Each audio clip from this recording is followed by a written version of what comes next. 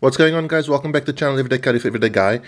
We've got a lot to talk about today. I've got a small review to show you. I've got a mail time, but I've got to also talk to you about Patreon, and I've got to talk to you as well about some holsters. Okay, let's start off with Patreon. First and foremostly, I want to say a huge thanks to Tyron Hart, Terence Drake, Sheldon Locke, and Travis House, who are my first first four patrons on Patreon. This channel officially has a Patreon account. If you want to check it out, it's the very first link down below. If you're watching on Facebook or Instagram, it'll be in the comments. And if you're watching on YouTube, it's in the description. Now, how am I going to reward patrons? Firstly, every month I'm going to do a draw for an EDC ready pack. Obviously, gear not included, but an EDC ready pack is basically what I consider to be the best way to carry a trauma kit. Zero zip technology, I did a full review of it, it's popping up in your screen right now. So pretty much if you join on Patreon now, the probability of you winning one of these is like 1 in 4 or 1 in 5.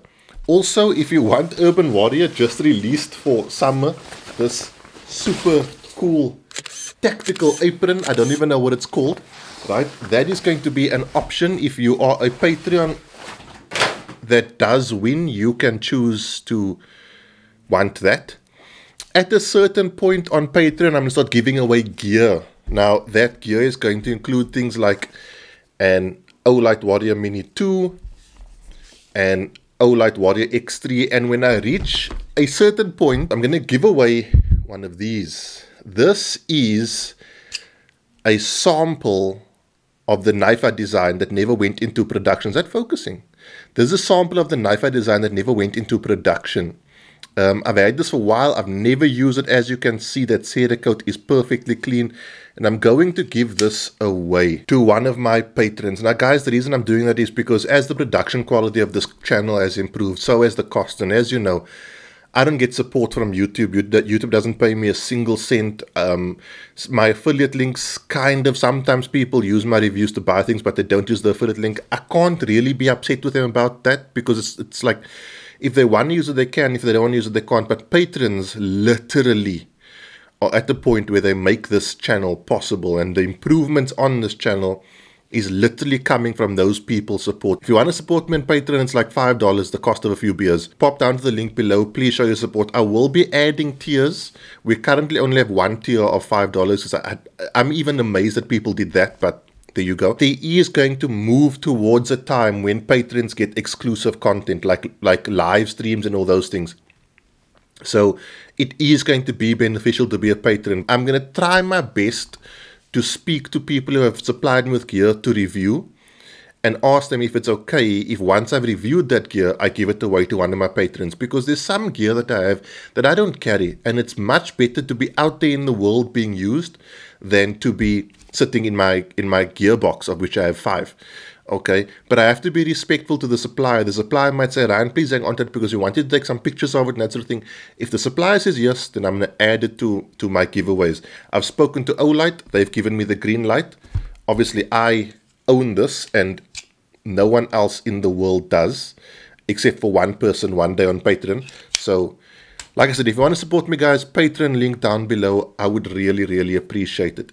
I had a question about holsters. Someone wanted to know what battle belt holsters I run. so primarily southwest holsters. This is this is the sidewinder and this is the mamba. The mamba basically is an outside the waistband also that I've attached to a Safariland UBL. Um, these holsters are really cool. Obviously with this you just have the holster retention in the holster itself and then the Sidewinder comes with a um, quick release plate from Blade Tech as well as a leg strap and a drop leg mount that goes onto your battle belt and this obviously has a um, retention device that you disengage to remove your firearm. So for me pretty much it's primarily southwest holsters for my battle belt. I will do a battle belt review soon a review of my battle belt. But guys, if you wonder, if you want really cool outside the waistband um, battle belt holsters, check out Southwest holsters. Then I have a mail time. So I know this is from. This is from my good friend JC Lamprecht over at Bravo Tactical Africa. And this is a Speed Timer 3000. I posted on Instagram recently if like what shot timers people recommend I use and if all shot timers are created equal.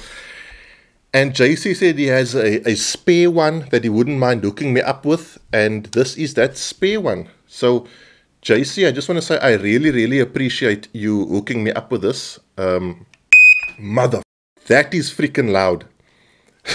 JC, I'm going to put this sucker off.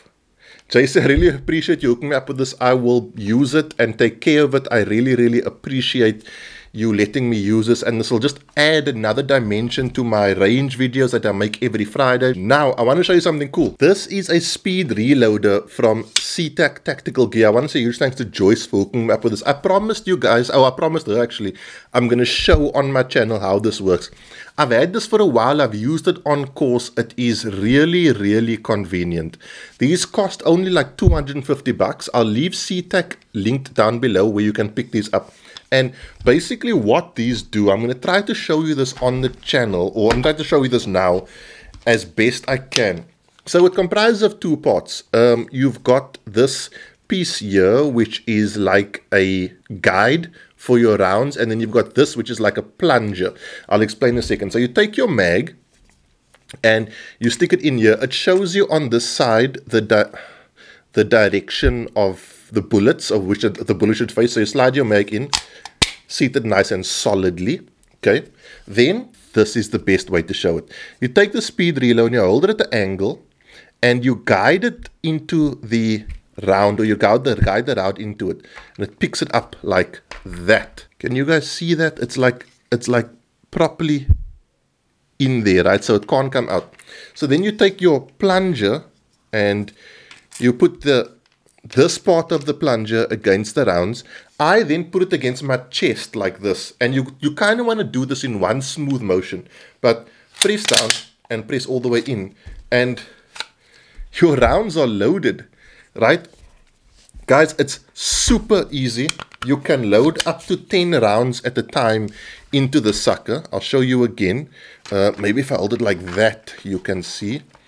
Take it at the angle, guide the round into that sucker. Now what's important, what you don't want is you want this to be kind of like nice and loose and free, but you don't want this round to get all the way in there before you've plunged it down. Because then it kind of like falls out a bit and it becomes a bit difficult to put in. So basically that situation, hold it down the downwards angle like this so it doesn't fall in and it's going in under the force of you pressing the plunger good to go and you've got one two three four five six seven eight nine ten if you are someone like me who shoots really often this really does make it easier on your fingers and thumbs especially when you do load 5 10 15 rounds at a time and on course it can really decrease your turnaround time. Like people will still be standing there loading and you've loaded 15 rounds in like five seconds. So it's a very cool little um, addition to your range kit. And I do just want to say, it'll pick up pretty much anything. Like if you look at these rounds, right, they sit quite deep in the box. All you have to do is get that guide onto the round, onto the base of the round, and it'll pick it up. These are actually stuck in this box, but you see what I'm saying? So I also just want to show you, you don't have to like load five at a time. Like I've got one, two, three, four, five, six rounds here. Um, put that in like that flip that over this piece on put it like at a downward angle against your chest and like in one smooth motion tuck that sucker in and you're good to go. So I do want to say thank you to Joyce for my C-Tac Tactical Gear Speed Reload. I'll leave them linked down below if you want to pick up one for yourself. Like I said, they're only 250 bucks. So it's not that bad. Let's do the pocket dump. Sorry about the sound changing. Left rear pocket is my Leatherman Skeletal. Uh, belt, as always, is Core Essentials. Holster is Southwest Holsters Rattler 2.0.